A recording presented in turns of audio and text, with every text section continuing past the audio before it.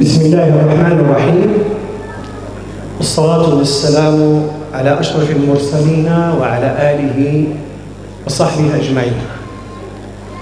السيد والي جهة الشرق عامل عمالة وجدة أنقاد السيد رئيس المجلس العلمي الجهوي لجهة الشرق. السيد رئيس المجلس العلمي المحلي لوجدة. السادة رؤساء المجالس العلمية المحلية لجهة الشرق السيد رئيس جماعة وجدة السيد رئيس جامعة محمد الأول السادة ممثلو الهيئة القضائية السيدات والسادة رؤساء المصالح السيد رئيس مؤسسة محمد السادس للقيمين الدينيين السادة ضيوف مدينة وجدة السادة المحسنون الأكارم السيدات والسادة المحفظون والمحفظات في مراكز تحفيظ القرآن الكريم الأطفال الأعزاء المشاركون في الدورة من المقيمين في الوطن وأبناء مغاربة العالم وأولياء أمورهم. السادة الأساتذة وممثلو وسائل الإعلام السادة الحضور الكريم كل باسمه وصفته. السلام عليكم ورحمة الله تعالى وبركاته. نرحب بكم جميعا في هذا الحفل البهيج بمناسبة ختام الدورة الصيفية الثانية والعشرين لتحفيظ القرآن الكريم للأطفال برسم سنة 2024 والذي ينظمه المجلس العلمي المحلي لوجدة بتعاون وتنسيق مع المجلس العلمي الجهوي لجهة الشرق. وهو حفل يتصادف هذه السنة مع الذكرى الفضية لتربع أمير المؤمنين صاحب الجلالة الملك محمد السادس حفظه الله على عرش أسلافه الميامين حيث أولى طيلة فترة حكمه رعاية وعناية خاصة بالقرآن الكريم وأهله. وخير ما نفتتح به هذه الأمسية المباركة آيات بينات من الذكر الحكيم تتلوها على مسامعنا الطفلة رجاء بيرو من مسجد طيبة الوجدة فلتتفضل مشكورة.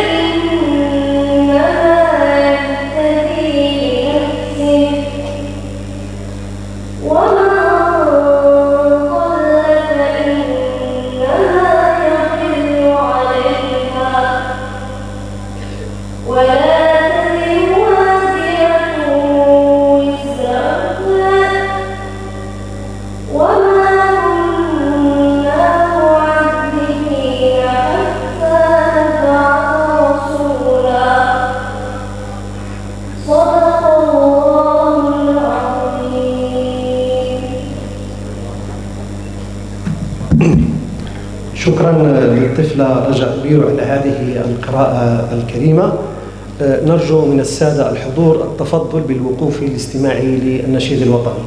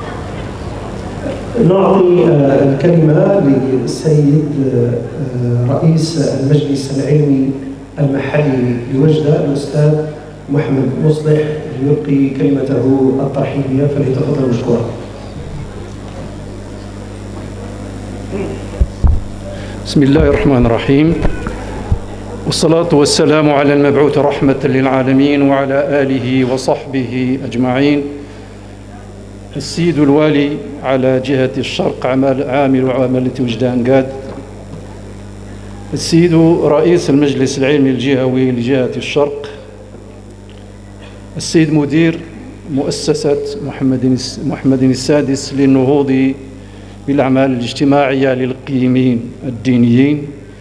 السيد المندوب الجهوي للشؤون الإسلامية لجهة الشرق. السادة رؤساء المجالس العلمية المحلية لجهة الشرق. السادة رؤساء المجالس العلمية المحلية لكل من الحسيمة وتازا وبلمان السادة المحسنون الداعمون للمجلس العلمي. السيد رئيس جامعة محمد الأول.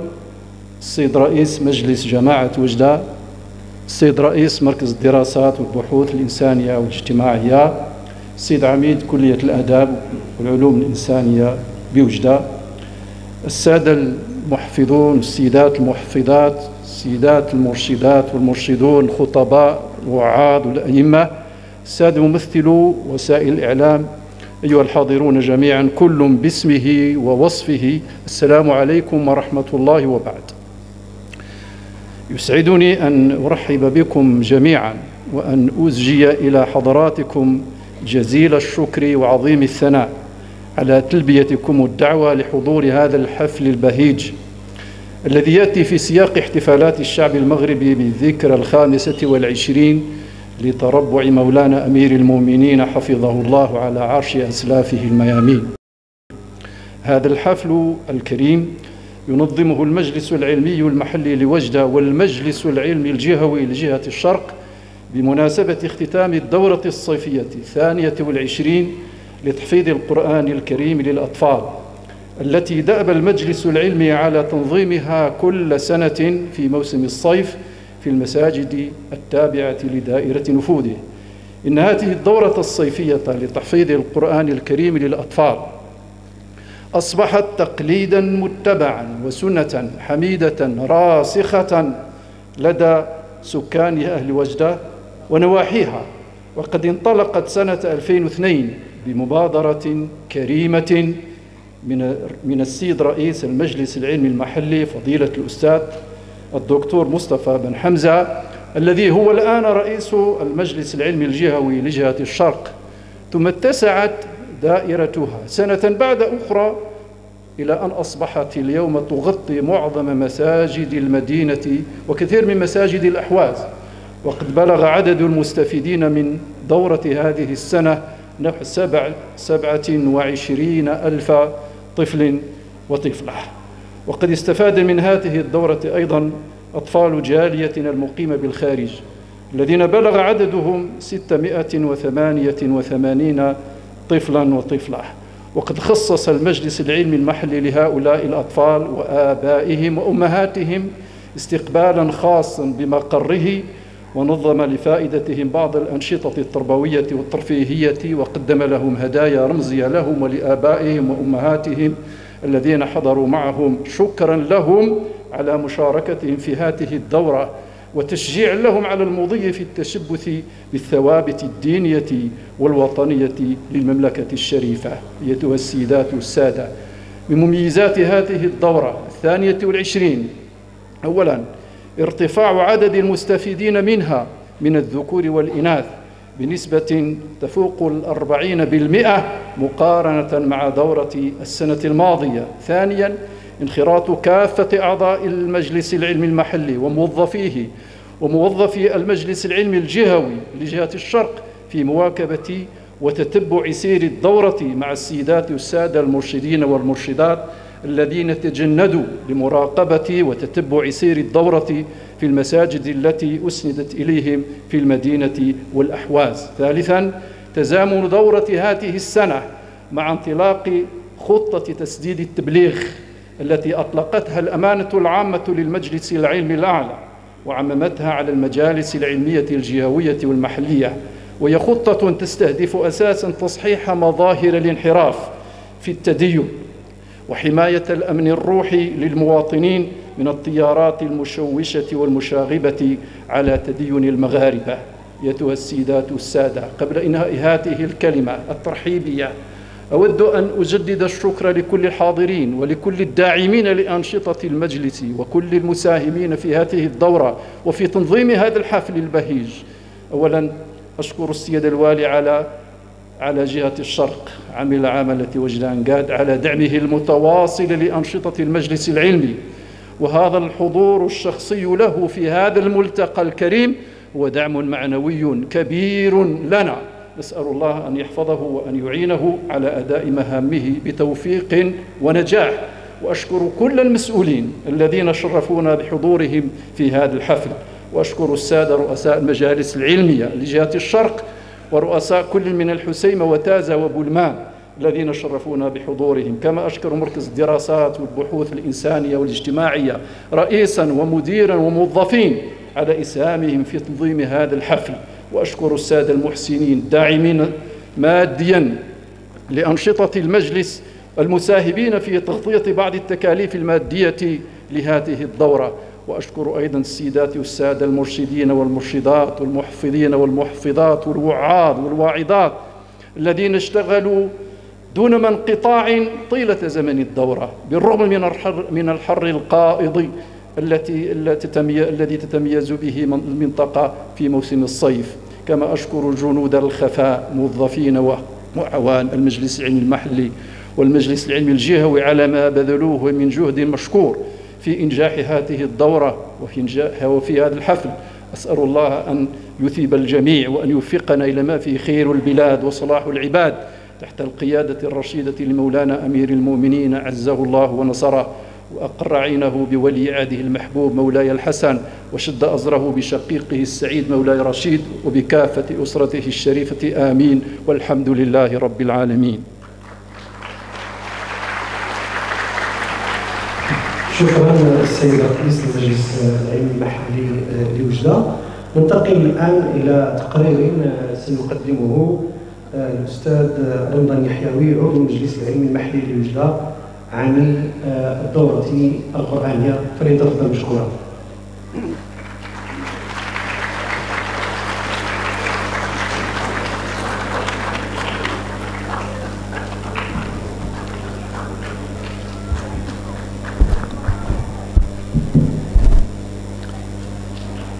بسم الله الرحمن الرحيم. الحمد لله رب العالمين. وصلى الله وسلم وبارك على سيدنا محمد وعلى آله وصحابته أجمعين.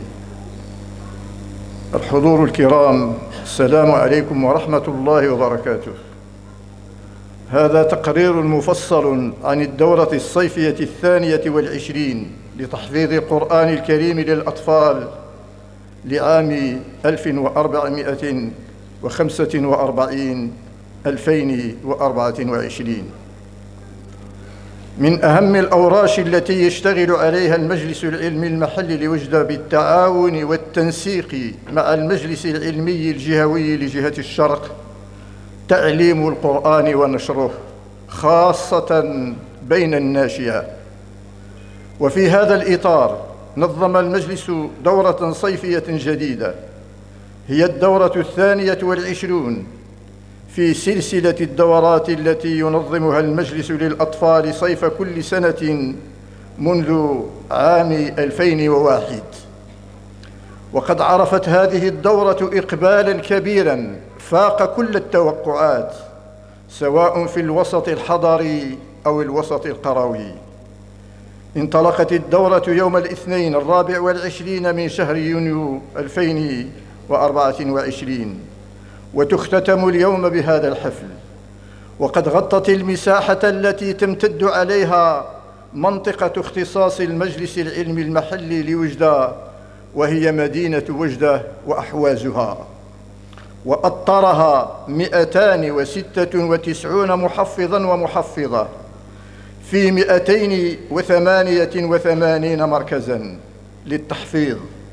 بزيادة ثلاثين مركزا عن الدورة الماضية 214 مركزا بالمدينة وأربعة وسبعون مركزا بالأحواز. وبلغ مجموع الأطفال الذين استفادوا من الدورة ستة وعشرين ألفا وثمانمائة وواحد وتسعين طفلا أربعة عشر ألف ومئتان وخمسة وستة وثمانون من الذكور واثنا عشر ألفا وستمائة وخمسة من الإناث من بينهم ستمائة وثمانية وثمانون من أطفال الجالية المغربية المقيمة بالخارج. وبذلك زاد عدد زاد عدد أطفال الدورة الحالية عن الدورة الماضية بعشرة آلاف وواحد وثمانين طفلاً أي إنه ارتفع بنسبة أربعين فاصل خمسين في المئة. وبذلك يبلغ مجموع الأطفال المستفيدين من مجموع الدورات المنظمة لحد الآن إلى ثلاثمائة وأربعين ألفاً وأربعمائة وسبعة وسبعين منهم عشرة آلاف وثلاثمائة وواحد وستين من أطفال الجالية المغربية المقيمة بالخارج. ومن خلال المتابعة اليومية التي قام بها أعضاء المجلس العلمي والأئمة المرشدون والمرشدات واستثمار التقارير النهائية تبين أن سير الدورة كان عاديا وفق ما خطط له إلا ما كان من بعض التعثرات البسيطة التي لم يكن لها تأثير على تحقيق الأهداف المسطرة للدورة. وهي حفظ الأطفال لأجزاء من كتاب الله تعالى. وفي مقدمتها المقرر الدراسي لمادة القرآن الكريم للسنة الدراسية المقبلة لكل مستوى دراسي بالإضافة إلى بعض الأحاديث النبوية وأبيات وأبيات من متن ابن عاشر وبعض الأدعية وتحقيق الدورة لأهدافها. هو ثمرة تكاتف وتعاون أعضاء المجلس العلمي والمرشدين والمرشدات والعمل الجبار للمحفظين والمحفظات والدعم المادي للمحسنين أصدقاء الدورة والتعاون والتنسيق الكامل بين الطاقم الإداري للمجلس العلمي المحلي لوجدة والمجلس العلمي الجهوي أن ننسى مركز الدراسات والبحوث الإنسانية والاجتماعية. رئيسا وموظفين الذين أسهموا كعادتهم بجهد مشكور في الإعداد لهذا الحفل وتنظيم وتنظيمه. فجزى الله الجميع خير الجزاء. هذه الدورة كلفت غلافا ماليا قدره ثلاثة وخمسون مليونا وسبعمائة وسبعمائة وأربعين ألف درهم. سنتيم. 53 مليون و740 سنتيم. غطى مكافآت المحفظين والمحفظات. وجوائز الأطفال المتفوقين في الحفظ خلال الدورة وعددهم 576 طفلا وطفلة. والجوائز التكريمية لمحفظين ومحفظة عشرة آلاف درهم لكل واحد. وأفتح هنا قوسا لأقول إن المجلس العلمي يشيد بإسهامات بعض أعضاء المجلس في توفير الدعم المادي للدورة ويثمن مبادرتهم الطيبة. نسأل الله العلي العظيم أن يتقبل جميعا أن يتقبل عمل الجميع ويبارك فيه ويجزي كل من عمل على تنظيم هذه الدورة وكل من شارك في تنظيم هذا الحفل وعمل على إنجاحه. والسلام عليكم ورحمة الله وبركاته.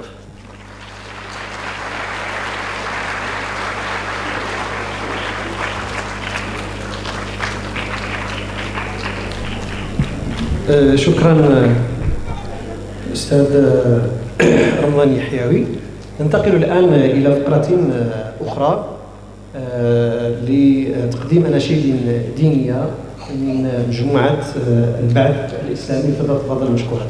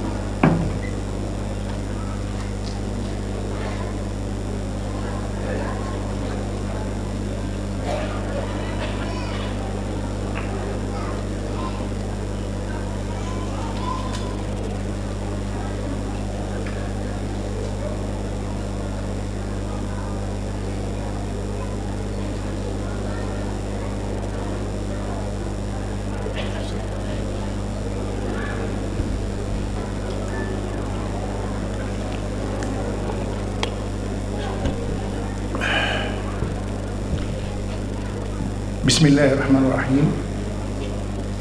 وصلى الله وسلم وبارك على سيدنا محمد وعلى آله وصحبه أجمعين. السيد والي جهة الشرق السادة المسؤولون الحاضرون والسادة المدرسون والسيدات المحفظات والمرشدون وكل من يحضر هذا اللقاء.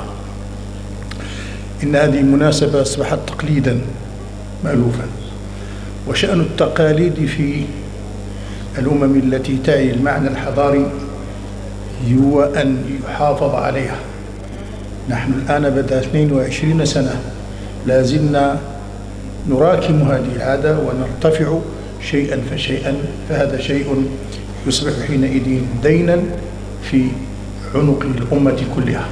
أي جميع الذين أسهموا يعرفون أن هذا أصبح تقليدا يجب أن يحافظ عليه الجميع. نحن الآن نحتفي ب مع أبنائنا وبناتنا بما بذلوا ونشجعهم ونربط على ظهورهم وأكتافهم تشجيعا لهم على ما بذلوا ولم يكن الصيف سهلا ولكن الإرادة كانت أقوى. ومع هذه الإرادة وهذه الرغبة وقد لاحظنا هذا من خلال بعض الزيارات أن الآباء كانوا مساندين. بعض الآباء والأمهات كانوا يحضرون إلى هذه المراكز وربما يبقون في انتظار الأبناء حتى ينون وهذا شيء مهم لأن الابن حينما يرى أن أباه يشجعه لأن أمه تشجعه فإنه يزداد قدرة على العطاء. ولذلك نحقق هذه النتائج الطيبة.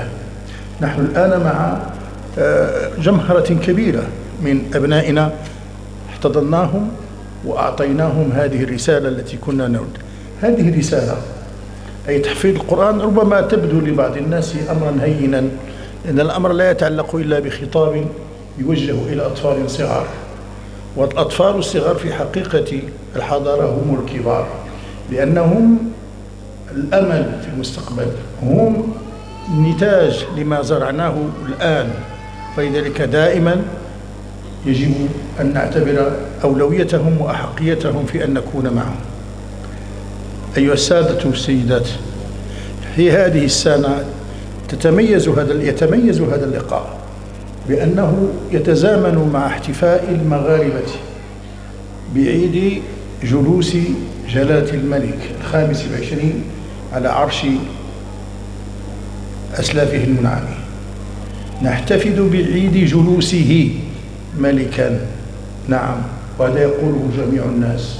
ولكننا أيضا يجب أن نعلم أننا نحتفي بعيد جلوسه أميرا للمؤمنين. وإمارة المؤمنين رديف وحصن منيع وشيء مهم للمغاربة. وهو يصونهم ويدفع عنهم كل المذاهب التي تريد أن تنتهب هويتهم وتريد أن تخلخل صفوفهم. إمارة المؤمنين نحتفي بها مثل ما نحتفل نحتفل الآن بالجلوس جلوس الملك. فأمير المؤمنين هذه خصيصة مغربية وحظوة مغربية ويجب أن نستحضر هذا معا ونحن نحتفي. وهذا يفرض علينا أن نقول كلمة ليست مطولة ولكنها كلمة لا بد منها. الناس تحدثوا أهل الاختصاصات تحدثوا وحاولوا أن يقدموا تقويمات لهذه الخمس وعشرين سنة. ماذا حدث فيها؟ وماذا أنجز؟ وتكلم المتكلمون بما حصلوه بما تابعوه. ولكن ألم يتحقق شيء لخدمة القرآن ولمصلحة نشر القرآن في هذه الخمس وعشرين سنة؟ هذا سؤال. ما الذي تحقق في هذه المدة بالذات؟ طبعا القرآن كان موجودا دائما مع الأمة المغربية ولكن الإضافات التي ربما بعض الناس لا ينتبه إليها ولا يعبأ أولا الخدمة الأولى هي خدمة النص إن المغرب كان على وشك أن تدخل إليه مجموعة من النصوص المشوشة. كان القرآن يأتي من هنا ومن هناك منه ما هو سليم منه ما هو مدخول بل إن كل التيارات حاولت أن تدخل إلى المغرب مصحفا يتماهى مع إرادتها. الآن عندنا وجدنا هذا مصاحف بألوان المثلية مصاحف بألوان المثلية. مصاحف لا تحترم الاختيارات المغربية. في القراءة في الرواية كان هذا شيئا كثيرا.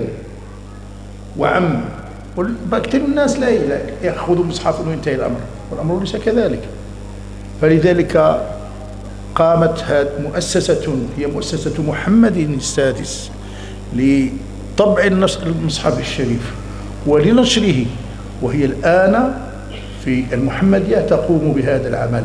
المصحف الذي يطبع الآن هو مصحف منسوب إلى محمد السادس وهو مصحف هو الذي يرسل ويبعث إلى كل الجهات إلى إفريقيا. ولذلك أصبح الناس يثقون الذين يعرفون ماذا يقرؤون. دعنا من الذين يقرؤون القرآن في في شاشات لا يبالون ماذا يقرؤون. المصحف الموثق الرسمي في المغرب هو مصحف محمدي يشتغل عليه مجموعة من العلماء من فقهاء الضبط وهو ولله الحمد يسوق إلى جهات كثيرة من العالم خصوصا مثل إفريقيا وهذا شيء ربما لا يأبه إليه كثير من الناس. ثم إن هذا النشر للقرآن الكريم هذا النشر القرآن جاء من خلال العناية أو من خلال الإشارات ففي كل مناسبة في رمضان يجلس أمير المؤمنين في نهاية ليلة السابع والعشرين ويكرم أهل القرآن ويكرم بعض حفظة القرآن من مختلف فيلتقطون إشارات. ولذلك عندنا جملة كبيرة من الشباب ومن الأطفال حفاظ القرآن الذين أجيزوا من قبل أمير المؤمنين. وهذا شيء ليس يسيرا ليس سهلا.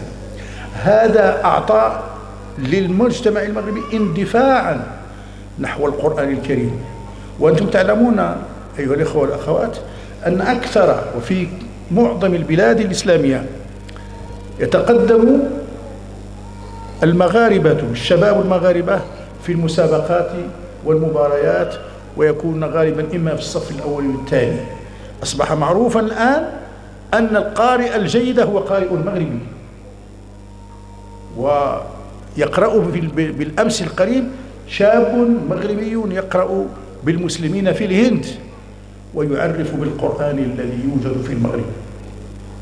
وهذه أشياء قد لا ينتبه إليها كثير من الناس ولكن الذين يعرفون معنى الثروة المعنوية والحضارة يعرفون معنى أن يكون المغاربة هنا على هذا المستوى.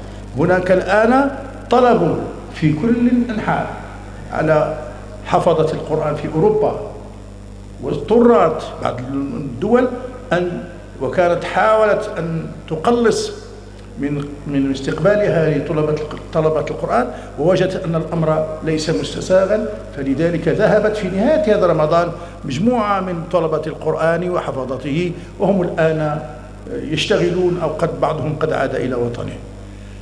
إن القرآن الكريم أيها الإخوة هو شيء كبير في حياة الأمة. هو شيء كبير لمن يريد البناء. نحن نقرأ الآية وكل حرف بعشر حسنات. صحيح. ولكننا نقرأ القرآن ولنا فيه فوائد لا تحصى. هذا القرآن لغة لغة ومعجم. فيه أكثر من 77 ألف وأربعمائة كلمة. بمعنى أن التلميذ عندنا إذا حفظ القرآن لا يمكن أن يكون له لا يمكن أن يكون لأي تلميذ في أي تعليم هذا المستوى من المعجم اللفظي اللغوي. أي إذا حفظ الإنسان هذا فقد حفظ 77 ألف كلمة بمجرد وهي ليست إلا في القرآن ويحفظ أساليب لا يجدها إلا في القرآن. يحفظ طرقا في الأداء لا يستطيعها إلا من يقرأ القرآن. أنت حينما تقرأ ويقدم لك العلماء توالي الحروف. اهبط بسلام منا وبركات عليك وعلى أمم ممن معك وأمم سنمتعهم. من يستطيع أن يقرأ هذه الميمات المتوالية إلا أن تكون قرآنا؟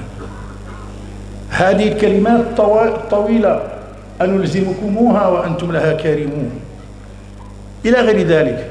فالناس الذين لم يكونوا مسلمين والآن بعض تعرفون هذا؟ أن بعض المسلمين بعض غير المسلمين ينبهرون ببلاغة القرآن وفصاحة القرآن والقدرة التعبيرية التي للقرآن. ولذلك إلى الآن يوجد من من غير المسلمين من المسيحيين من الساسة من يعلم ابنه القرآن الكريم. ثم تعلمون شيئا آخر جديدا وبه أختم. وهو هذه المعاني التي أصبحنا الآن نلوذ بها ونعود إليها ونعتز بها ونحتمي بها حينما يأتيك شخص ليس مسلما وهو غوتيريش ويتحدث يوما ما عن الهجرة. وكيف يعامل المهاجر الذي ينتقل من بلد إلى بلد بأي دليل استدل استدل بآية قرآنية بقول الله تعالى وإن أحد من المشركين استجارك فأجره حتى يسمع كلام الله ثم أبلغه مأمنة. وذكر أن القرآن يدعو إلى أن نحمي المهاجرين. من أين يأتي إنسان بهذه الحقيقة إلى إذا لم يأتي بها بالقرآن وفي كل الحالات نحن الآن نحتمي بالقرآن ونلوذ به ونعتصم به وهو يحمينا يخدمنا. نحن حينما نرى إنسانا يعطف على والده ويرأف به ويعالجه. نقرأ ونقول هذا من أثر قول الله تعالى وقضى ربك ألا تعبدوا إلا إياه وبالوالدين إحسانا. لكن الذي يكفر بهذه الآية هو الذي يلقي بأبيه أو بأمه في دار العجزة أو يهينه أو يهمله والمسلمون لا يفعلون ذلك. القرآن بركة القرآن منهج القرآن حصن. فلذلك حينما نقرأ القرآن وحينما نفسر القرآن ونفهم القرآن يجب أن نعلم أننا نفعل شيئا من هذا كثيرا. أعود لأقول أيها الإخوة والأخوات هذه الخمس وعشرون سنة دعونا مما يتحدث به الذين لا يعرفون ما يقولون.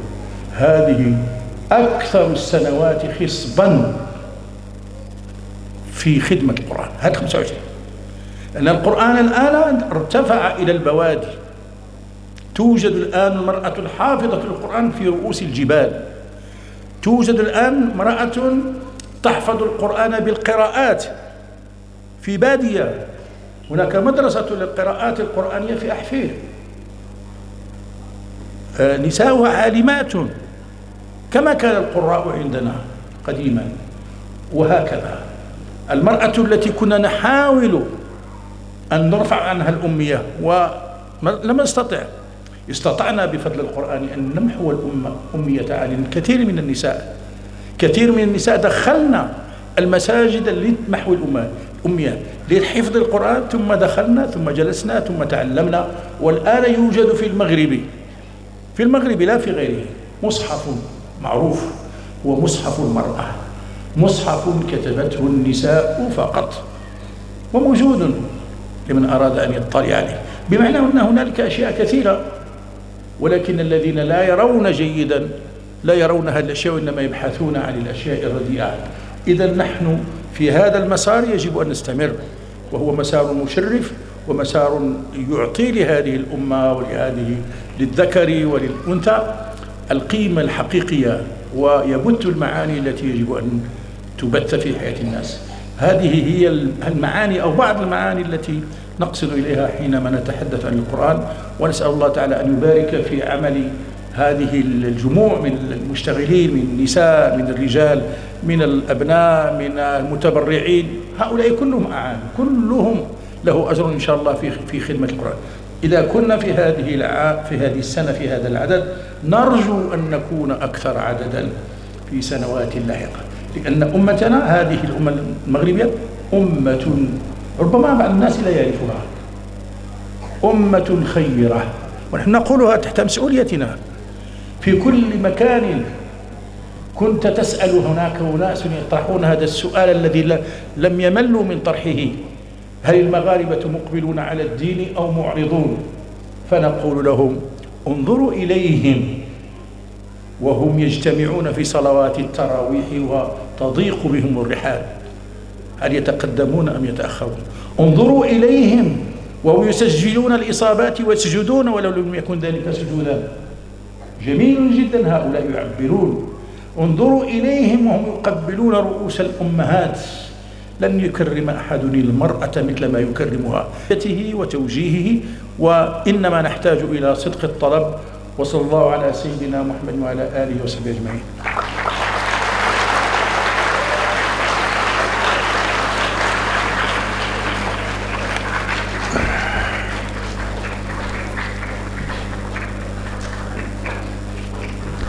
شكرا لفضيلة العلامة الدكتور مصطفى بن حمزة رئيس المجلس العلمي الجهوي لجهة الشرق ارتباطا بدور المرأة ننتقل إلى فقرة وكلمة للأستاذة زاهية في الليل عضو المجلس العلمي المحلي لوجدة لتحدثنا عن عناية المرأة بالقرآن الكريم والكراسي العلمية الخاصة بالقراءات القرآنية بالجهة. فلتتفضل مشكورة.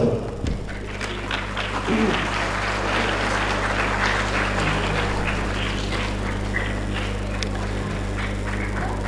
الله الرحمن الرحيم الحمد لله والصلاة والسلام على أشرف المرسلين سيدنا محمد وعلى آله وصحبه أجمعين السيد والي جهة الشرق عامل عمالة وجد أنكاد السيد رئيس المجلس العلمي الجهة العلمي الجهوي لجهة الشرق السادة رؤساء المجالس العلمية المحلية.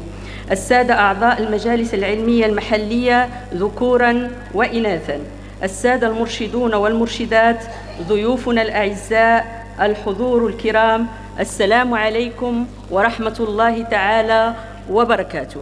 أما بعد فقد اعتنت المرأة بالجهة الشرقية من بلدنا المغرب بالقرآن الكريم وتزايد هذا الاهتمام ليتخذ شيئا فشيئا صورا وأشكالا شتى تدل في مجملها على تعلق المرأة بكتاب الله عز وجل وعنايتها به خاصة مع الرعاية المولوية السامية التي يوليها أمير المؤمنين صاحب الجلالة الملك محمد السادس حفظه الله رئيس المجلس العلمي الأعلى لتشجيع المرأة على القيام بأدوارها في خدمة الدين والوطن. وقد انطلقت المرأة في الجهة الشرقية لتخوض تجربة الحصول على التزكية والتي تثبت حفظها لكتاب الله من المجالس العلمية مما دفعها إلى الإسهام في تحفيظ القرآن الكريم بالقواعد داخل المساجد والمعاهد القرآنية. وقد تزايد عدد المحفظات بعد منتصف التسعينيات عاما بعد عام مما سمح بزيادة عدد المستفيدين والمستفيدات من الأطفال والنساء بمساجد الجهة ومدارسها ومعاهدها القرآنية. سيداتي سادتي يشهد الواقع مدى التفاني والإخلاص في تجربة المرأة مع القرآن الكريم وقد دفع هذا التفاني للتوجه نحو العناية بعلوم القرآن فتلقت منها الكثير على يد العلماء والشيوخ واستزادت من العلوم الشرعية قصد توسيع مداركها وإثبات أهليتها للإقراء وتعليم العلوم الشرعية. ولا أحد ينكر التأثير الإيجابي للمرأة على المجتمع لتوجه المرأة نحو القرآن والعلوم الشرعية لأنه سبب في صلاح المرأة وسبب في إصلاح الأسرة والمجتمع خصوصا إذا ارتبط عندها حفظ القرآن الكريم وتلاوته بحسن فهمه وتدبره والاجتهاد في تنزيله وتطبيق أحكامه وآدابه. وها هي تنطلق نحو توسيع أفق العناية بالقرآن الكريم وذلك من خلال الاجتهاد والمثابرة للتمكن من القراءات السبع والقراءات العشر لتعمد إلى تسلم مهام كرسي القراءات.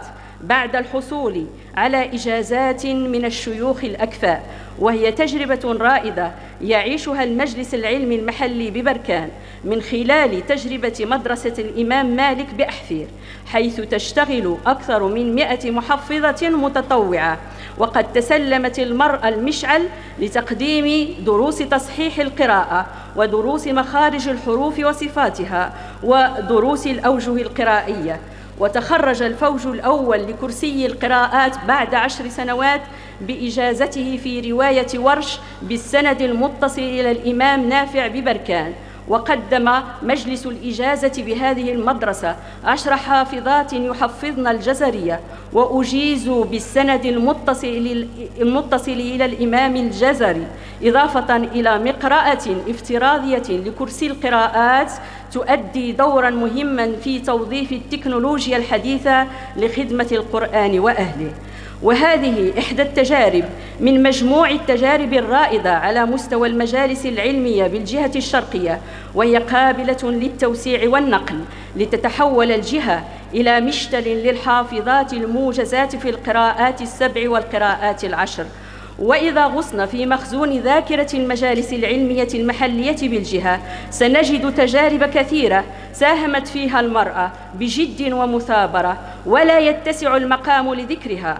وهو الدليل القاطع على تناسل عناية المرأة بالقرآن على مستوى الجهة الشرقية. وننوه في هذا المقام بدور خلية شؤون المرأة وقضايا الأسرة التابعة للمجالس العلمية المحلية بالجهة والتي تتابع عن كثب الحلقات القرآنية في رحاب المساجد لفائدة النساء والأطفال والشباب.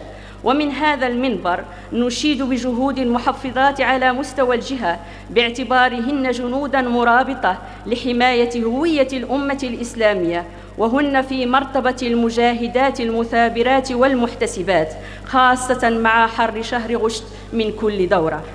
وإذ نتوجه إليهن بخالص الشكر وكامل الامتنان نسأل الله عز وجل قبول صالح الأعمال منهن ومن كل من ساعد من قريب أو بعيد في إنجاح هذه الدورة.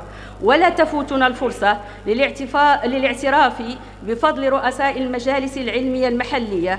ومنهم جهود فضيلة الأستاذ محمد المصلح الذي عمل بحرص على تحقيق أهداف هذه الدورة. ولكم جميعا رؤساء المجالس العلمية المحلية نقدم خالص الشكر والامتنان على كل الجهود المبذولة لإنجاح هذه الدورة وخدمة الشأن الديني من مواقعكم. ونشيد بعمل الجميع وتكاتف جهودهم على مستوى المجالس العلمية المحلية أعضاء ومرشدين ومرشدات ووعاظ وواعظات وقيمين دينيين وإداريين نسأل الله تعالى أن يجازي الجميع خير الجزاء. ويبقى فضل القيادة والريادة بحوزة أستاذنا فضيلة الشيخ مصطفى بن حمزة رئيس المجلس العلمي الجهوي لجهة الشرق. نسأل الله تعالى أن يبارك في علمه وفي صحته ليواصل مسيرته بإصراره المحمود. إنه القدوة في العمل الجاد والمتواصل.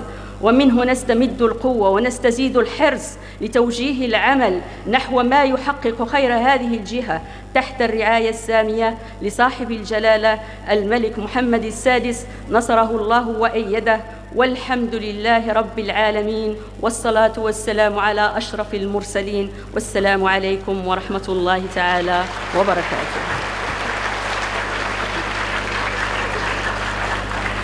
آه، شكرا للأستاذة زاهية فلاي عضو آه، المجلس العلمي المحلي لوجده ننتقل الآن إلى فقرة أخرى خاصة بالأطفال. آه، نقدم فيه قراءة فرضيه للطفل سهيل واسو من مسجد النورين بجماعة سيدي موسى المهايه فليتفضل مشكورا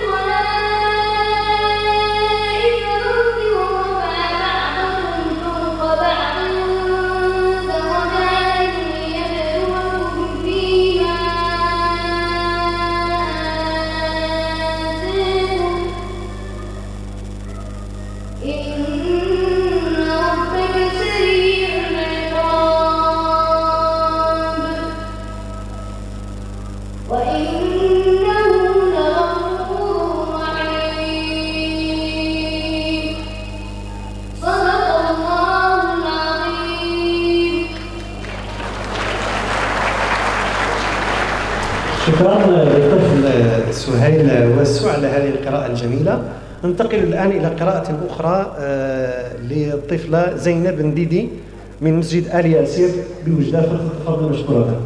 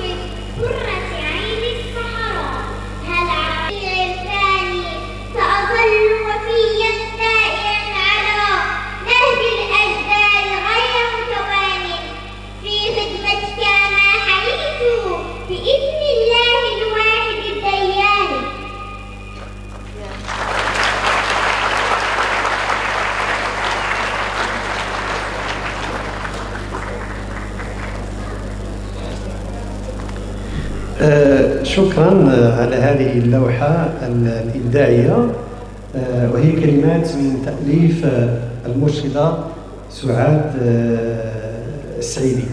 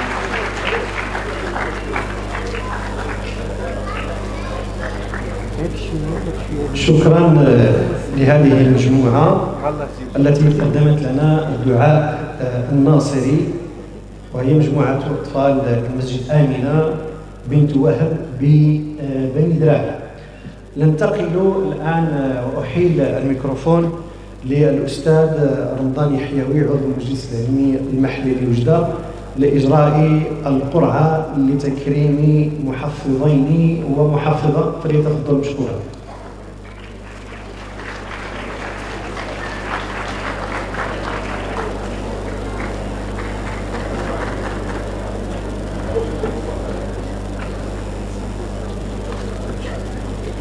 بسم الله الرحمن الرحيم. الحمد لله رب العالمين.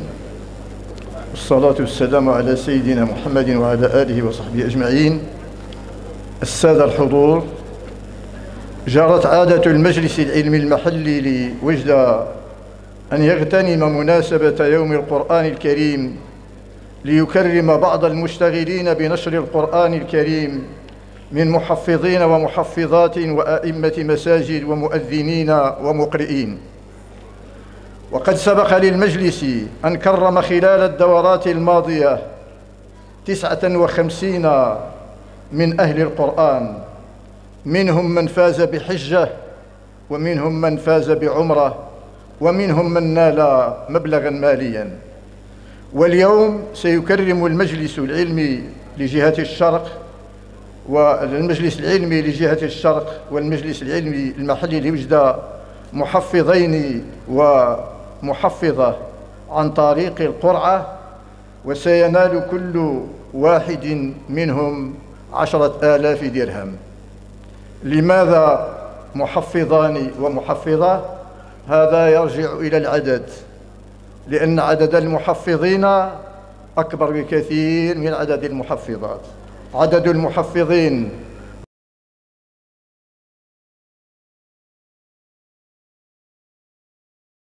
هو 220 محفظا وعدد المحفظات وستة وسبعون محفظة فقط. ستكون هناك قرعتان.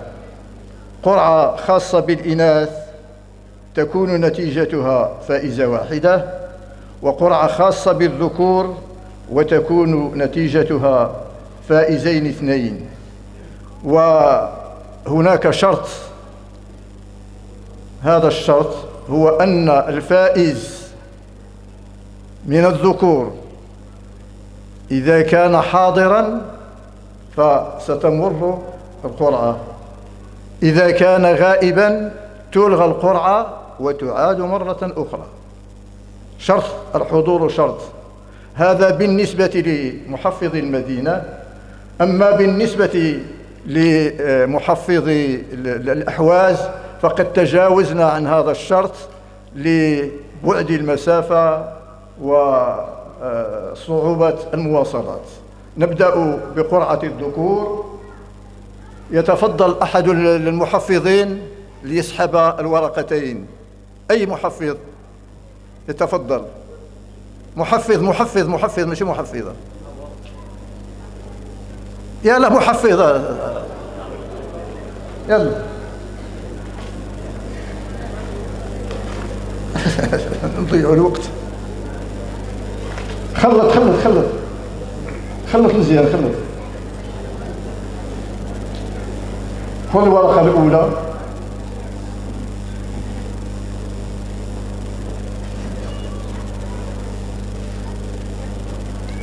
إدريس أشقرباني دوار ولاد الحمام بني خالد. هذا من الأحواز.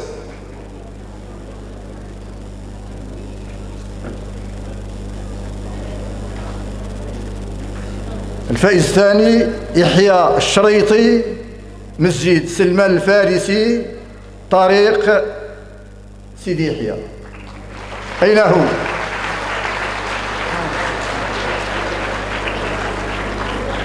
تفضل.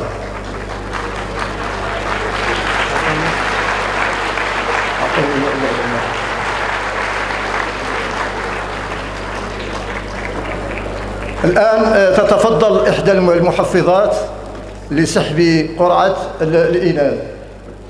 محفظة.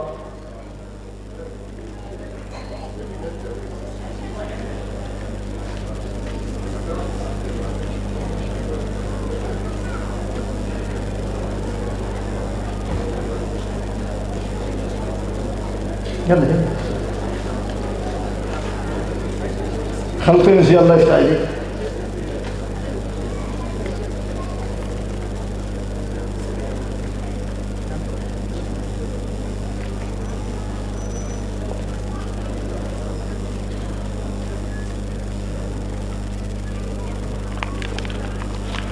المحفظة سامية الفيزازي محفظة بمسجد أحد أين هي؟ أين هي؟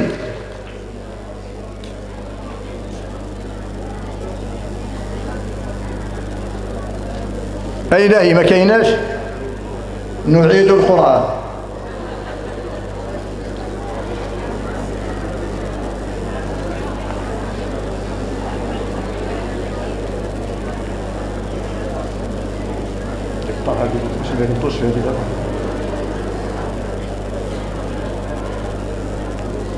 يلا يلا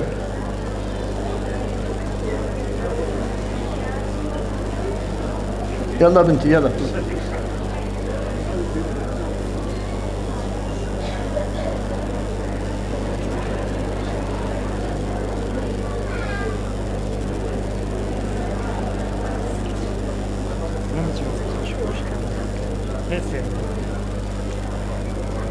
لطيفة جرجيني مسجد أم سلمة أين هي؟ حاضرة أم لا؟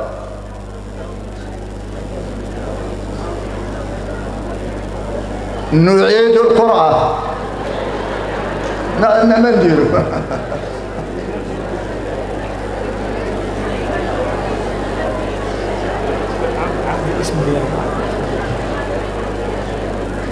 لطيفة جرجيني مسجد أم سلمة.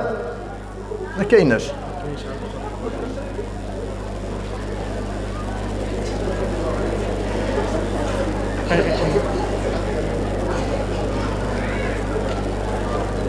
فاطمة العمراني محفظة بمسجد بني ماجه.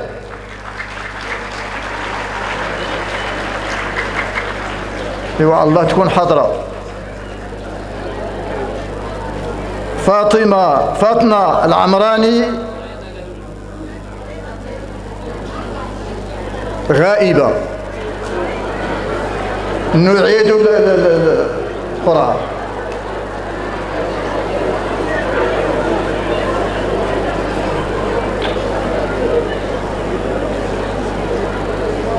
وتنفيذ تنفيذ الشرط الشرط لا بد منه. ما نعمله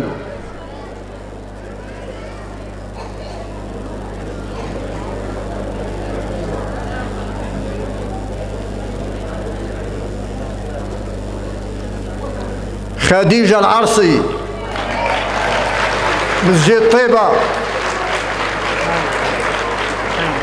ايوا الحمد لله.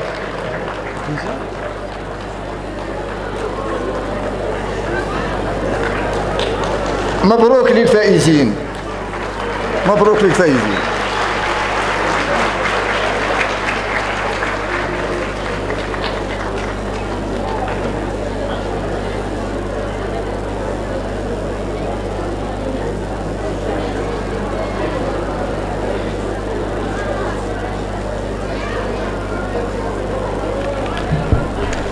هنيئا بالفائزين يتقدم لتسليم الجائزة الأولى السيد معاذ الجامعي والي جهة الشرق ليقدمها للفائز إدريس الشخرباني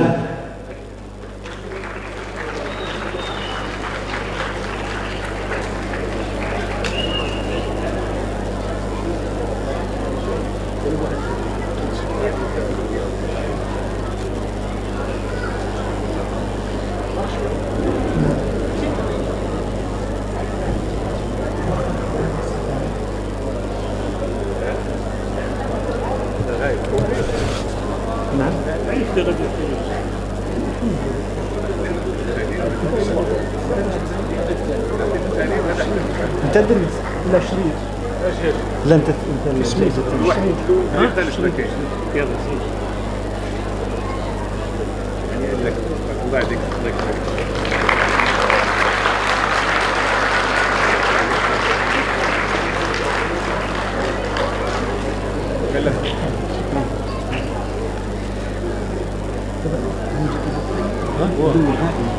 صافي يدير واخا غايب يدير يقول كل يسلم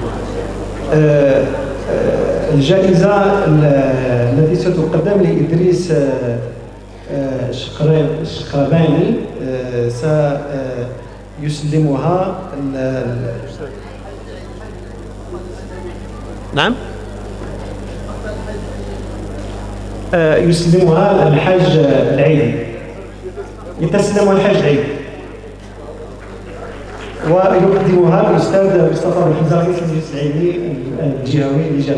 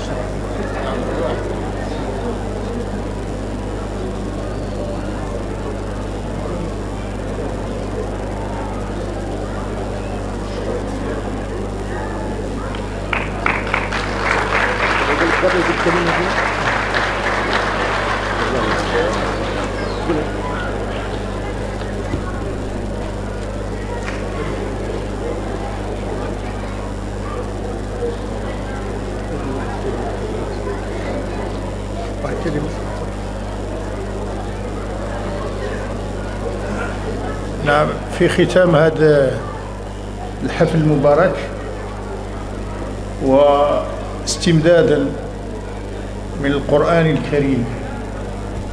نحن العلماء.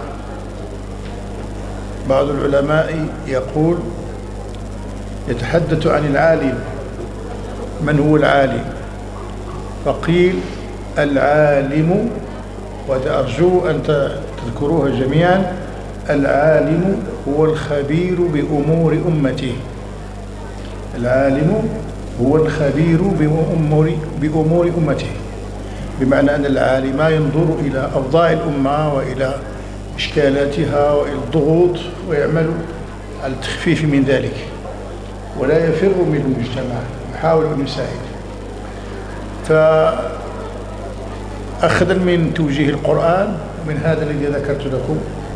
تعرفون ونعرف جميعا أن العالم كله بل جهات كثيرة من العالم والمغرب منها على مشارف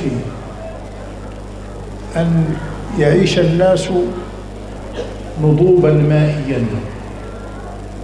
وهذه نذر قد بدت وأصبحنا نرى الإشارات الكثيرة تدل على أن أننا تجاوزنا مرحلة الإجهاد المالي المائي إلى مرحلة النضوب وهذا سيسلم ولا إلى شيء خطير. والماء بالنسبة إلى الإنسان هو الحياة لا حياة بدون ماء. والماء قد يكون كما هو الآن عندنا أهون موجود ولكنه أعز مفقود أهون موجود حينما يكون موجودا ومبذولا ويصل إلى الناس إلى بيوتهم. ولكنه حينما يفقد ستكون الكارثة كبيرة. لذلك نحن جزء من هذا المجتمع نرفع دائما إلى إخواننا إلى ما يسمعوا قولنا. الدعوة بأن يستحضر هذا الوضع وأن يعمل على التخفيف وأن يستفيد أيضا حتى من عطاء القرآن وعطاء الإسلام.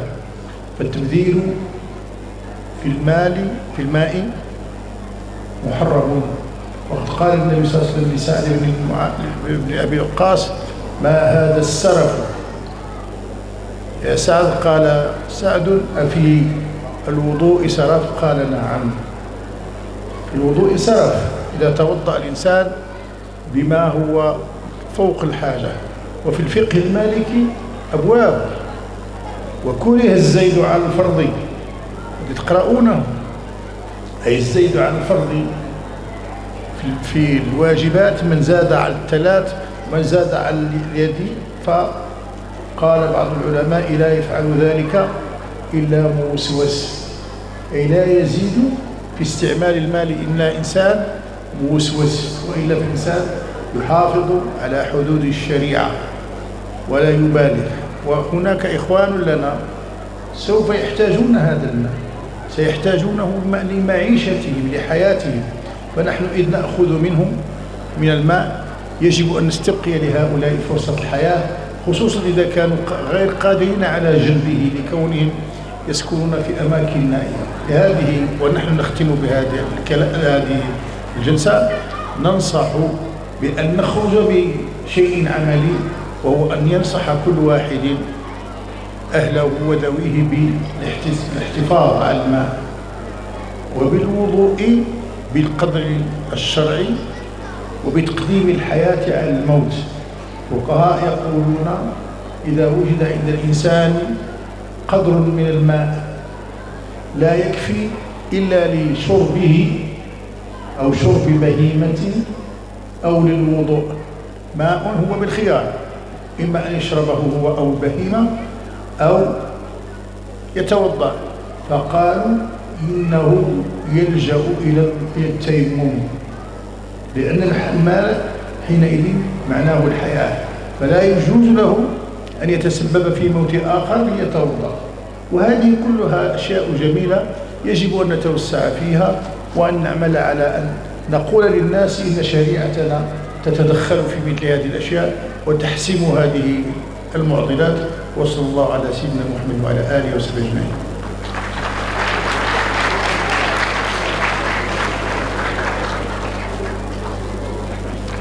شكرا لفضيلة آه، العلامة الدكتور مصطفى بن حمزة رئيس آه، المجلس العلمي الجهوي لجهة الشرق على هذا التوجيه آه، الخاص بالماء. ننتقل الآن لتقديم الجائزة الثالثة التي سيسلمها السيد محمد بوعرورو رئيس مجلس جهة الشرق للمحفظة خديجة العرسي.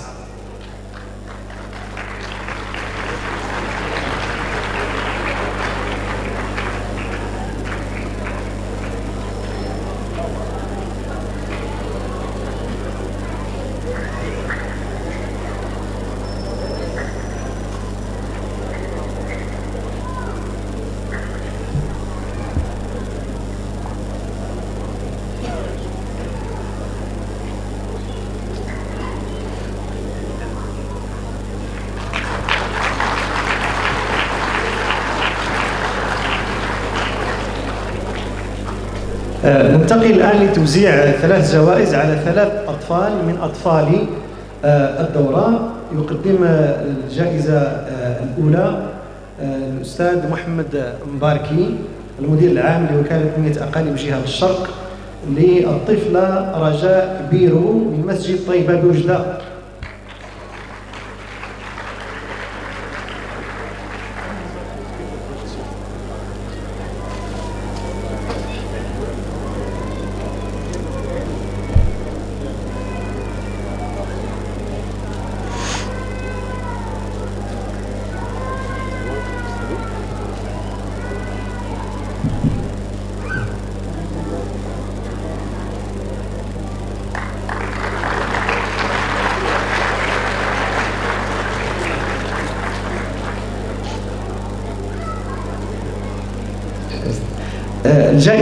الثانية اللي ستقدم للطفل سهيل وسو من مسجد النورين بجماعة موسى المعايا يسلمها له السيد محمد عزاوي رئيس جماعة وجدة فليتفضل مشكورا.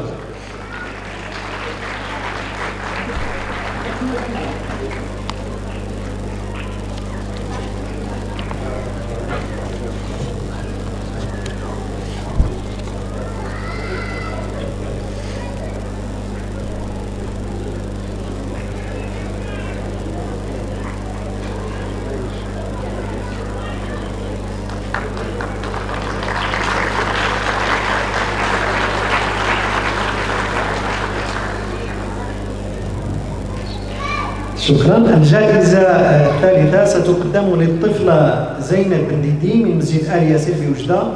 يسلمها لها السيد محمد أمين شعيبي رئيس مؤسسة محمد السادس للنهوض بالأعمال الاجتماعية القيمي الديني.